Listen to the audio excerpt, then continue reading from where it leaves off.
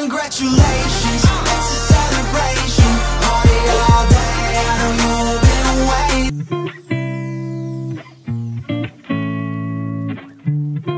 Mega love shoutout po sa inyong lahat. Ako po ulit ang inyong likod si Lopez Hatches. Kung kayo po bago sa ating tahanan, please huwag niyo pong kalimutan mag-like, comment, share, subscribe, at i-hit niyo na rin po ang notification bell para po kayo updated sa tuwing may mga gagawin tayong reaction mga Lodi, okay?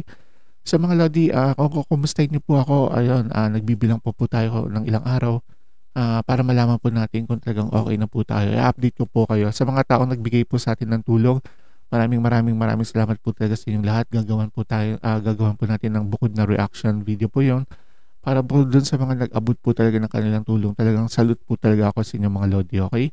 Ayan, so sa mga Lodi po nating minamahal, panoorin po muna natin yung video kung ano pa talaga ang status ng ating ah, idol na si King and ah, Queen po natin na Cindy. Okay mga Lodi? So, eto na po mga Lodi.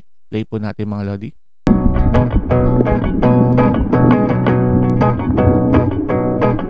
Mukhang may sira na dito mga Lodi. Yun.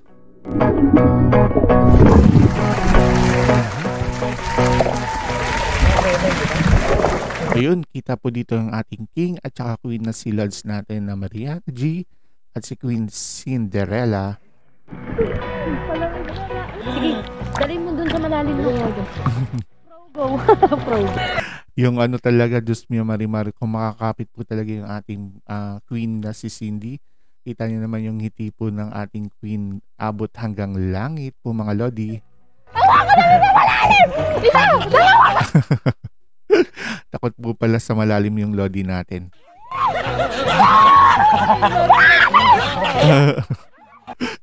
yung tawa po ng ating Lods na yan dito, ano, tina- pakinggan niyo mga Lodi.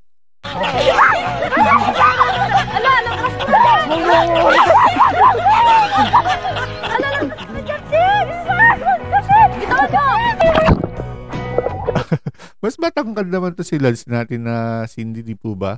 Pero syempre hindi po talaga siya ano kung naalala niyo po dun sa ilog na kung saan ay ah, tinuruan po ni Lods natin na yan, no? Ah, paano po lumangoy po yung ating queen, di po ba mga Lodi? Doon po yun sa kanilang anniversary sa mga updated po natin mga kaibigan dyan.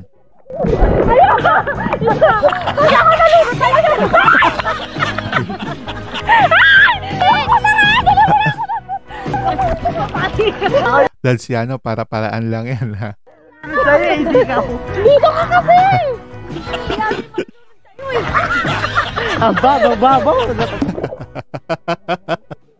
Baliktad naman si Lanciano naman yung binubuhat.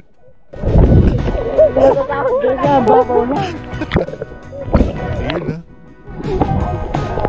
Baliktad na, no? Tingnan nyo sa baba mga Lodi kung sino na yung nakaapak sa ah, pinakababa nung ano, yung pinakalupa. Yun, no? pala siya, guys. Yun, no? Pa- parang, baby. Lanciano, parang nagpaka-baby ka dito, ha?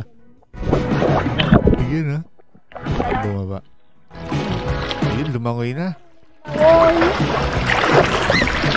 Galing talaga lumangoy ni Lanciano.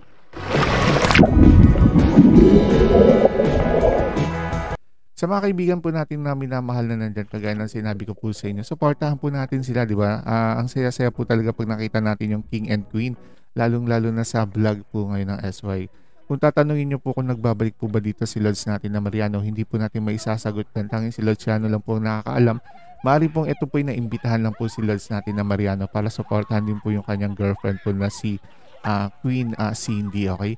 Kita niyo ang kulit-kulit, di ba? Kahit kaperaso lang po yung ah, exposure dito ni Lods natin na Mariano, mapapansin naman po natin na talagang napakalakas po talaga ng hatak po ng ating Lods na si Mariano G, okay? Sa mga kaibigan natin na patuloy pong sumusuporta po kay Lods natin na Mariano, kung saan po siya pumunta, supportahan po natin. Siyempre yung mga hashtag Batang Hamog at yung SY Talent Entertainment. Kung kayo po nabitin po sa inyong pinanood na video, maaari po lamang pumunta po kayo sa SY Talent Entertainment para po mapanood nyo po yung kabuuan po ng naturang video. Maraming maraming salamat po talaga sa inyong lahat mga Lodi. Kita po naman napakasaya po ng ating Lods na si Mariano G. Kapiling po yung kanyang nag-iisang Queen Cindy sa kanyang puso. Ulitin ko po, supportahan po natin sila. Ah, no hate, no hate, spread love lang po tayo mga Lodi, okay? Peace po sa ating lahat. I love you Mama Chup Chup. Paalam po sa inyong lahat. God bless us all. Margie lang, malakas.